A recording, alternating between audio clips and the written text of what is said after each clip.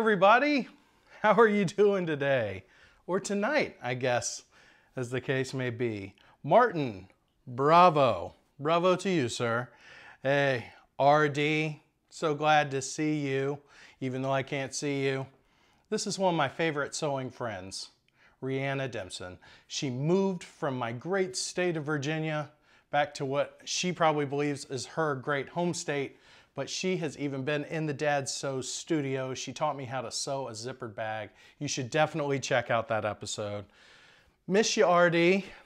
And uh, Mama Mary says, ready and surfing. Surf. What is this? Surfing in Arkansas. Is there any surfing in Arkansas? I'm not sure how that works, but that's an interesting name. So thank you for uh, dropping by. I truly appreciate it. Um, hi, Christy. Hello to you, ma'am.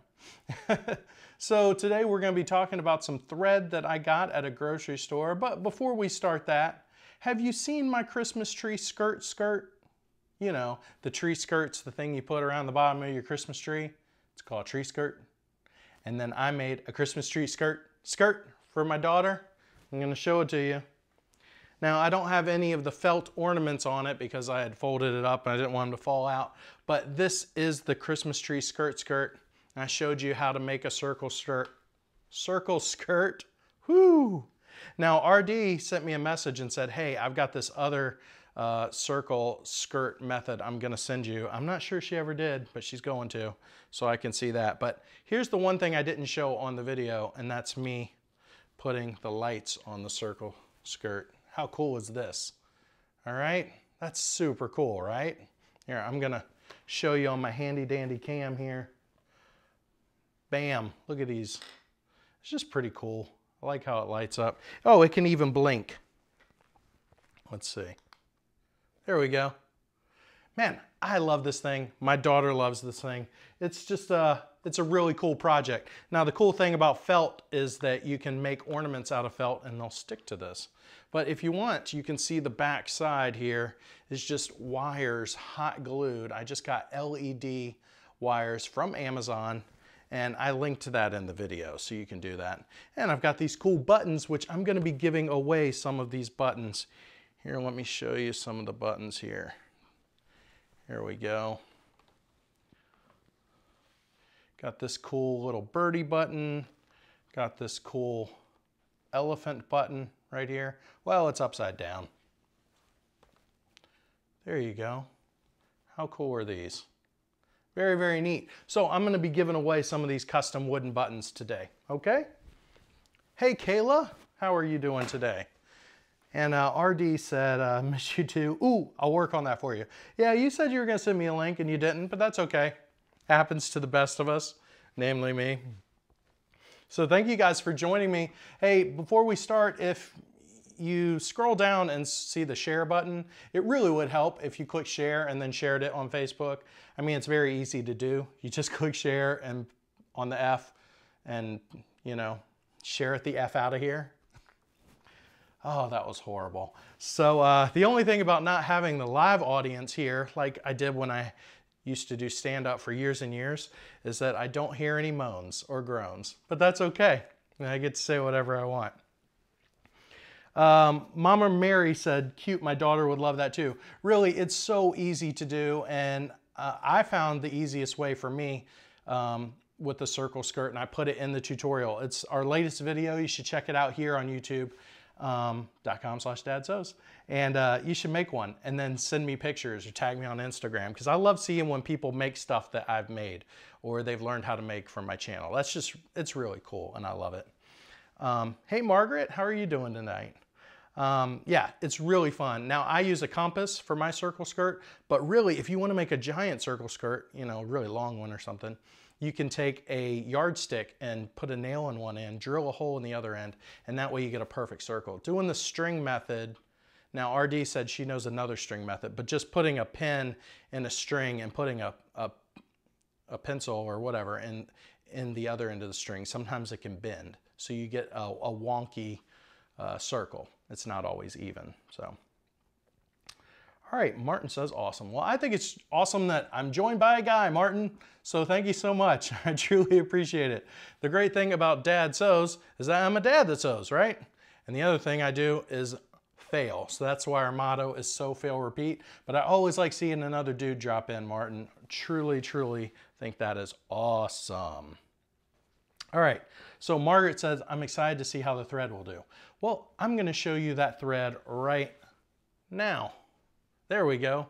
So I was at one of our new, new to us grocery stores, Lidl. Now you probably know Lidl and Aldi. They're these new like budget friendly grocery stores that are popping up everywhere. Aldi's the tiny one. Lidl is the one that has a grocery store on this side, a grocery store on this side, and then random stuff right down the middle if you haven't been in one. So the first time I went in a Lidl, I bought a pair of shoes. Yes, yes, I'm officially a sad dad. I bought a pair of shoes at a grocery store. But I'll be honest with you, the price was right and they are comfortable. and I put on special laces so at least they don't look so generic. So anyway, Margaret said she loves Lidl. Um, I, I really love the store. You cannot do all your grocery shopping there though. And I, as much as I love fancy grocery stores and Trader Joe's and even Kroger, which is a full-size grocery store but can sometimes be expensive at times, I'm a Walmart grocery store person. I can find everything I need there I mean, really, I can find, I'd say 99% of what I need there. You can't find 70% uh, of what you need at Lidl. So I couldn't, couldn't even find frozen carrots. So there we go. All right, that's enough of my grocery store talking. But anyway, I was traveling down that middle no man's aisle at Lidl and I saw that they had sewing kits, which were sold out, which should tell you they're either cheap or good or both. And then I saw these packs of thread. Now these cost $5.99 from Lidl. Now, as you can see, you get two whites, you get two blacks, you get a dark gray, a light gray. I'm gonna call this mauve. You get a couple greens, a red, burgundy, yellow, uh, three different blues. Well, four if you count teal as blue, pink, and then you've got some light beige, and a brown. Now, I think this is a phenomenal deal for $5.99. But the question is, is it any good? All right, so let's go ahead and crack this baby open. I have not done this before. Just like all my videos at Dad Sews, when I sew it on video, that's the first time I've sewn it. So you get to see all my failures. Because if you don't want to see failure, watch another person sewing video. They'll show you something that ends up perfect after they fixed all the mistakes and not showing you how to do it. I'm going to show you how to fix the mistakes if I have them. Hopefully this isn't too noisy for you. No? All right. Woo, caught it. All right, so, I mean, I really like, I like the thread when it's got um, some of the spools sticking out at both ends. I don't know why, I just kind of, I don't know, I like it, I prefer it. So let's see how this opens up. You can slide these off. Now here's my problem with thread, of course, like we all have, is finding the end. Oh, okay, that wasn't that hard.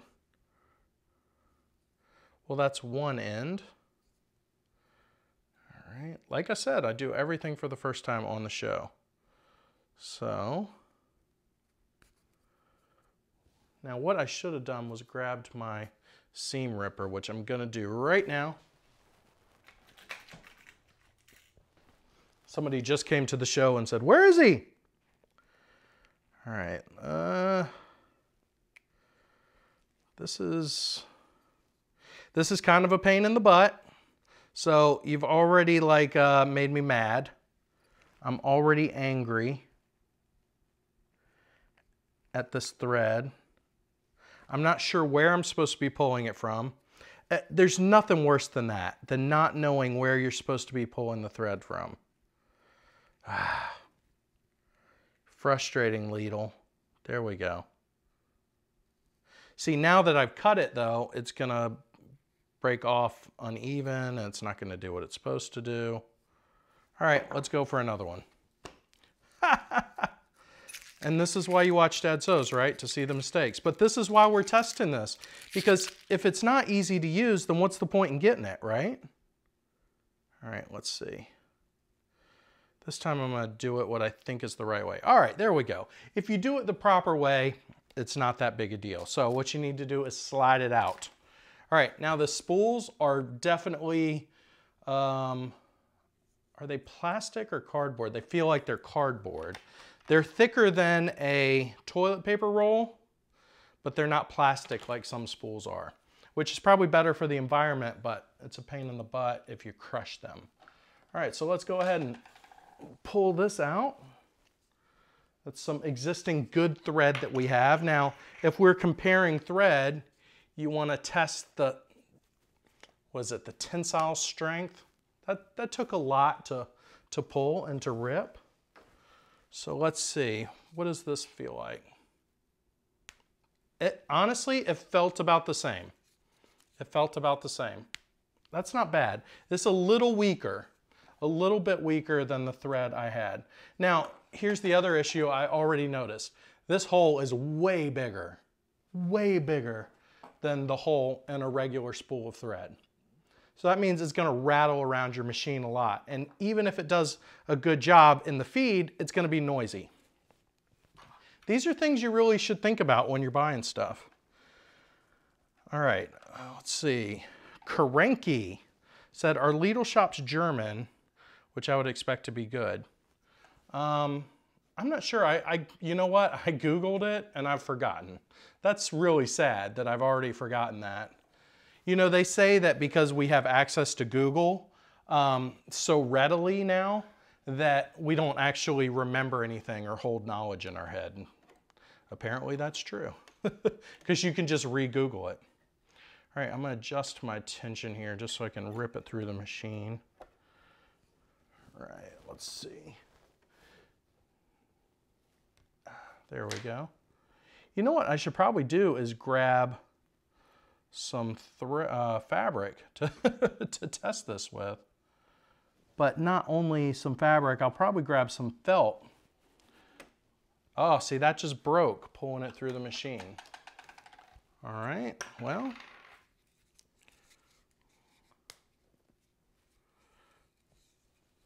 I like to just see how much abuse it can take because let's be honest, it's going to get abused in your machine, right?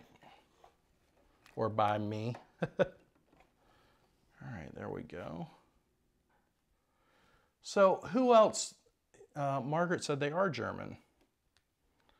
Yeah, I always, uh, I thought they were going to be um, like Swedes, like IKEA, when I first looked them up. Right, I'm gonna go ahead and pop this in my needle. It does have an automatic needle threader, okay, my machine, because it's an awesome Juki. But what I'm trying to do is see how bad it frays when I cut it with things like my seam ripper, because I don't always have my scissors right. I'm gonna grab my scissors,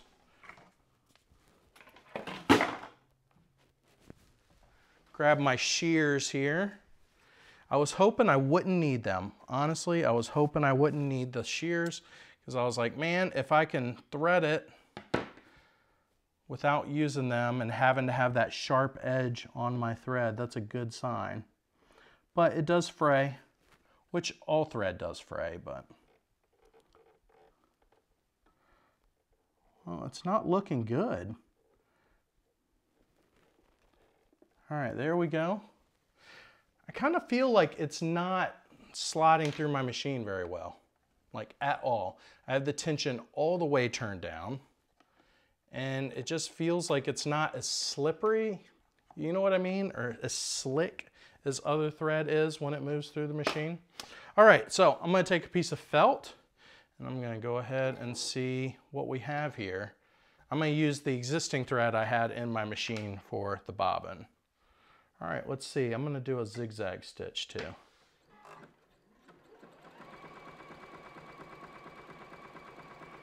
Well, she's looks like she's sewing. But I'm not seeing anything here. Not, not good so far.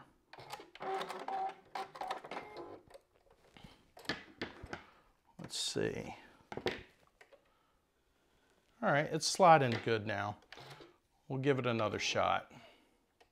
Now, have any of you actually bought? Oh, Mary says, Hi, Christian, I love your tutorials. Thanks, Mary. Well, this is something a little bit different where we actually test something on the fly, but I totally appreciate that. Has anybody here bought thread from Lidl or their sewing pack? Because I really wanted to get one of their sewing packs, but they were all out.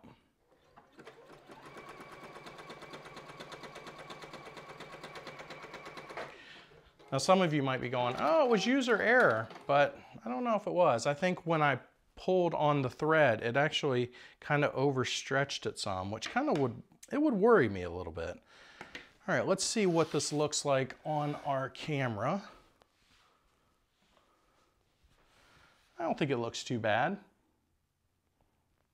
Nice straight stitch. I mean, of course, the Juki is gonna solve a lot of your problems for you, okay?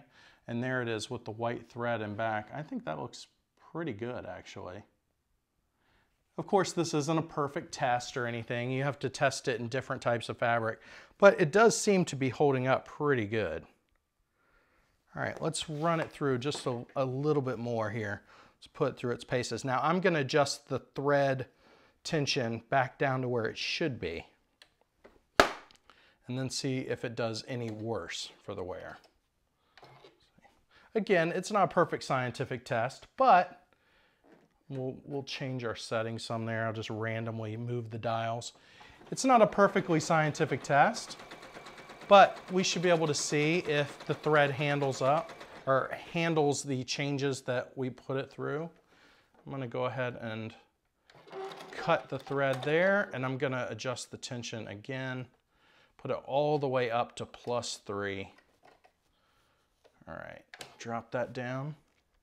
Nancy said it looks pretty good. It does, it does look pretty good.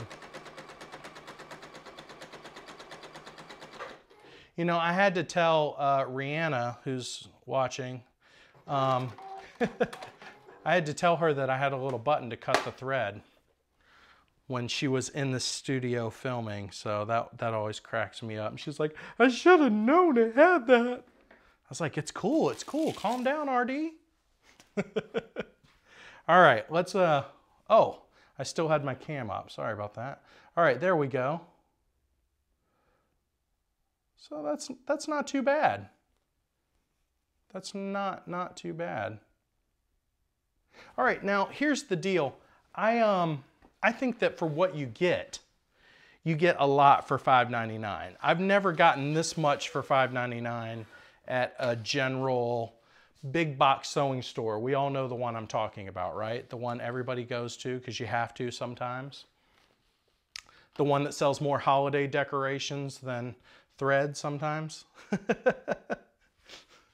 yeah, we all know what store I'm talking about. I'm not going to say their name because one day they might pay me some money. So, but I've never gotten this good of a deal for this good thread. Now, when I've gotten cheap thread at that particular big box store or at Walmart, um, it definitely breaks right away. All right, surfing, um, surfing in Arkansas. so I totally said your name wrong earlier. I was getting a brain fart. You asked if it's uh, cotton or poly. It's 100% polyester. All right, and you get, uh, here, we'll put this up on the cam. Oh, it was up. Sorry about that, guys. There you go. And again, it's 100% polyester. All right. All right. Well, I'm honestly, I, I kind of feel like it went good. Rihanna said you really need to test the durability. Um, I think she said that. Let's see. Don't know about the durability. Yeah. Um, I will say this, it's not popping when I pull it, of course I did do a zigzag stitch, but we all know if you pull it enough, you're gonna rip the thread.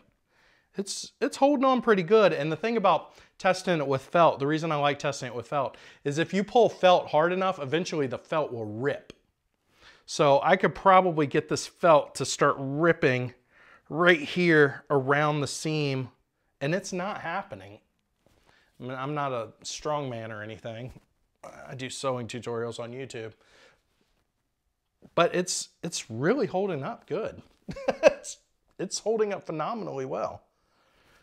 Um, Kaz Kiwi says hi from New Zealand. Hey, how are you? I'm glad to have you. Love uh, our Australian and New Zealand fans. The Kiwi in your name kind of gives it away. Right now, you're seeing me pretend to be strong. Honestly, this is holding up really well. I, I'm very, I'm pretty happy with that. And if I pull the loose thread that's there, it's not wanting to rip like some cheap thread does. If you pull the loose thread, if you haven't backstitched um, after you've run it through your machine, it'll actually pop loose and then the thread will come out further down and then further down, so on and so forth. All this did was tighten up and it's not ripping. That's a really good, really good sign. Here, I'll show you this. What I did was I pulled it there and not ripping one bit, really pulling hard. All it did was tighten down. That's one of my tests for durability when I test cheap thread, and uh, I'm kind of happy with that. All right, so here's the deal. In anticipation that this thread would be good, I got a couple of these to send out to some folks. So that is gonna be a good thing. So one of you viewers is gonna get that. I'm gonna give a chance to some people to watch it that aren't watching live. Ooh, I'm gonna give a chance to some of the people that aren't watching live to comment on the video as well so that they can win. But here's some other goodies that I've got for you because I love my live viewers the mostest. All right. These are some of the wooden buttons that I had that I used for our Christmas sweater recently. Okay, so here's a giraffe and here's a butterfly. So anytime somebody orders one of our Sew Fail Repeat shirts from our shop at dadsews.com, they get a handful of custom wood buttons and then they also get a Sew Fail Repeat button from Dad Sews. And we've got some different versions of these. RD can tell you she's got a bunch of those, I think. And then we've got some of these that have letters on them and these are really, really cute, especially I mean, look, I don't want to be gender specific and all that. I'll, you know, get thrown off the web, but these are be cute for your little girls' outfits. There's a little Scotty dog. And uh, let's see. Oh, there's a little fish. So anyway, I'm going to be giving away some of these buttons to some of you as a thank you. So I'll probably message you here on YouTube to do that. If you're just joining me, don't forget to check out the Christmas tutorial I did for my Christmas tree skirt skirt. All right, there we go. And I built in a little pack right here so that it lights up. How beautiful is that? Definitely pretty cool. My daughter loved spinning around in it and she was mad that I was holding it for this video because she wanted to wear it to school and I was like, no, You'll not mess up my work. You'll not mess up my work. I put a lot of time into that thing and a lot of a lot of brains trying to figure out the circle skirt. Not that I have a lot of brains, but I could not really wrap my head around the math at first, which is why I put the easiest instructions I could find. Um, Deanne, I'm gonna say, is it Diane or Deanne? Because there's no E, you've confused me. Um, she said the buttons are so cute. They're very cute. Um, Kiwi, our, our resident Kiwi, said kids' outfits, they'd be cute on mine. Yeah, they would be.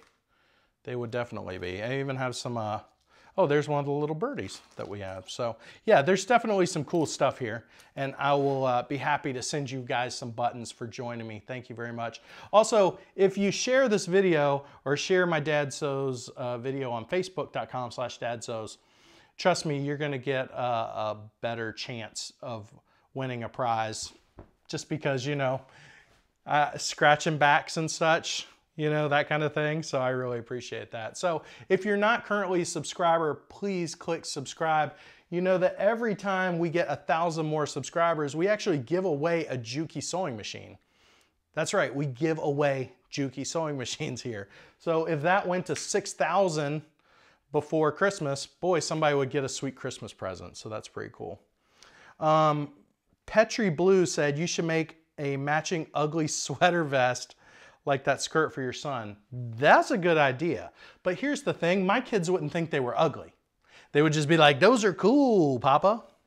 They don't call me dad, they call me Papa. the tree skirt is cool and unique. Oh, thank you. I thought it, I mean, I hadn't seen one online. So I was thinking about tree skirts and last year we made a felt tree because we had a one year old toddler wandering around the house and it got poo-pooed online. Somebody said, oh, you're so soft on your kids, you can't have a real Christmas tree with ornaments? No, you're a millennial parent. I'm like, I'm 40, first of all. Second of all, I don't want my daughter possibly eating or stepping on glass. Or what would really happen is she would leave an ornament on the floor and then late at night at 2 a.m. when I hear somebody screaming and having a bad dream, I'm gonna be the one stepping on glass. So I was kind of looking out for myself. I'll be honest. So we put up a felt Christmas tree. You can find that tutorial on Dad Sews. And um, then I thought, wow, what if I had a skirt Christmas tree where they could also put ornaments on and off? And you can do that on this, uh, but I just wanted to show the lights and such. We've got the ornaments hanging on other things right now. So it's pretty cool. The kids can take felt ornaments and pull them off, move them around their own clothes. So they're changing their own clothes on the fly. And then of course the lights are just like super awesome. Uh, Nancy said, hey Nancy, does the box make it heavy? Honestly, it's really not heavy. I would say, I think it weighs as much as these shears do. Um, these are Fiskars shears. I don't know if you've ever held any, so they're not the heaviest in the world because they've got plastic, really nice plastic handles. If you don't like Fiskars for some reason, I don't know if they get a bad rap from anyone uh, that I know. I love them. Dudes love Fiskars. They make axes and everything. This is a dude's scissor right here. I love these shears. Um, I heard somebody poo-poo Fiskars and then I found out that they just support another uh, company. So these are great. They have remained sharp forever. Uh, love them. So this weighs about the same amount as this. My daughter didn't have a problem. And also I made this longer than it needs to be. So it's kind of doubled up. I have uh, double buttons on one of the parts so it can be adjusted here and here. So it can be loose if it goes over top of one of her sweaters or something thick or underneath. So that's kind of nice. But basically that puts the weight right in the back. It's right by the butt. So that's, you know, just something to think about where you're gonna put the pack. I think I got a felt string on me there. Uh, a millennial parent, Martin says. Hey, uh, nothing against them, but I'm not one of them. so that's all I'm saying. All right, well, um, if, like I said, uh, I want to give away some of these buttons and sew fail repeat buttons to people. Um, oh, somebody said plus Fiskars has a replacement more. Yeah, Fiskars are awesome. I love Fiskars, and I will always talk great about Fiskars. Uh, when I hear them poo-pooed, I put them in somebody's hand if I can and say, you cut with these and you tell me what you think of them. These things have been dropped on the floor by my kids. One of them once cut paper with them. Uh, and I know that I should have murdered them. Uh, but I, I, love these shears. They're the first ones I got when I started filming for Dad Sews, which was coming up on two years ago, and they're still just as sharp as they were then. Um, and plus they make axes, so one day we're gonna destroy a sewing machine with a Fisker axe, I promise you. Uh, a broken one, of course. Um, Mary uh, said, would love to see a tutorial on how you made the skirt and attach the lights. Okay, Mary, there is a tutorial on how I made the skirt. Um, a couple people have asked me to do one for the lights. The, the lights are really easy. Um, I will show you the back of them right now. Uh, all I did, the, the, tutorial for the skirt is on Dad Sews. So go to youtube.com slash Dad Sews. It's gonna be the video right below this one, okay? But then all I did here was I poked holes through the felt. Felt is really forgiving. and then I hot glued as soon as I, I put it through the hole and then pulled it back just enough so that the light was just sticking out, okay? And then I angled it down so that it was flat and they're LEDs so they don't get hot, okay? I angled it down so it's not sticking out and hitting things. And then I laid glue around the hole and under the hole so that I pressed it down onto the, the skirt. So all of them are hot glued down. It's very easy. And in my tutorial, I have a link for the light pack that I bought. It's cheap, uh, it's efficient. These lights will never burn out because you only use it at Christmas time. And it even has a it has a blink and a solid on button. So it, it's it's genius. I love it. So yeah, check out the tutorial, Mary, and uh, you know, maybe I'll make one for the lights too. Maybe I'll do like just a little quick tutorial on how I did the lights, like a quick like Instagram video or something like that. Speaking of Instagram, you can follow me at Dad Sews. Uh, I know many of you do, but if you follow me there, sometimes we have some sponsors that say, hey, we really want to give out this cool thing on Instagram, and that's the only way to really get some of that stuff. Sponsors are weird. Sometimes they want to give stuff out on certain social media platforms. Mainly I do stuff on YouTube, but if you follow me at Dad Sews on Instagram, that increases your chance of winning something awesome. Again, when we hit 6,000 subscribers, we're gonna be giving away another Juki sewing machine, which is totes awesome. Yeah, I said that. Maybe I am a millennial. So thank you so much for watching. Uh, hit the subscribe button if you haven't. Please smash the like button and I would love it if you shared this video and then tagged me on Facebook with it. And that way I know you shared and I can say, oh, they're definitely winning some cool swag from Dad Sews. And I'll just be uh, randomly getting in touch with some of you to send you some stuff. Joyce M says, do you quilt? If so, do you hand quilt? Joyce, I said that this year was gonna be the year I made a quilt. And this was the year my wife had two surgeries and one went terribly wrong. So it did not happen. Um, I mean, the surgery went okay, but she didn't come out of it great. Uh, so anyway, that has backpedaled a lot of stuff uh, with Dad Sews. It's kind of uh, put the end of the year um, plans uh, in flux. So no, I don't quilt, but 2018 is going to be my quilting year uh, for sure because I have access uh, through my friends at Fabricut to the long arm machines and the ones that do the computerized quilting and all that kind of stuff. I would probably not hand quilt, I'll be honest with you. I'm a machine guy. I love machines. I'm a nerd at heart, so I'm going to use what the good Lord gave us through engineers. and uh, thank you for sharing, RD. I really appreciate it. And uh, surfing in Arkansas, um, said not paper for my scissors or my shears. I, I, mix up shears and scissors, but yes, my kids did use these for paper. Um, but that's okay. We're close to Williamsburg, Virginia, so we actually have stocks from the old days, and uh, I just drive them up there. And I open it up, I put the stocks in. You can throw fruit at them, tomatoes, apples, bananas, you know, pineapples if you're really feeling mean. Um, there's tourists that have hot cider. So yeah, I mean, there's things we can do. This is, this is a, you know, a right to work and right to live state, I guess, in Virginia. So they have to work for their right to, to live in my house and using these for paper is not a good idea. I didn't really put my kids in stocks, but I hope you all know that that's a joke. All right, uh, Joy said that's great. I'll be here to see. All right, that's awesome. I want to make sure I didn't miss anybody else's comment. If I did, I apologize. But man, I really appreciate all you guys stopping by. It's just, it's awesome what Dad Sews has become. I, I don't have the followers, uh, the following that some of the other sewing channels have, um, but I'd rather just have a personal connection with my friends that I've made on Dad Sews, people like Rihanna, meeting other dudes like Martin. It's just cool to find these kind of people. So you know, I'm, I'm really, really happy and blessed uh, now coming up on Christmas and post Thanksgiving that I have such great fans. Uh, when I posted a, uh, that personal video about what happened to my wife uh, a month ago, just there was an outpouring of care and love from you guys. So I, I wouldn't trade any one of you uh, with anybody else's uh, fans. I just, I love you guys to death. And I don't say that um, just to be cheap or, or fake. I, I truly do love and appreciate all of you guys. It's, it's awesome. Um, Rihanna Dimson, 2018 will be the year of the quilt. That is for sure. Um, all right, so I appreciate you guys joining me.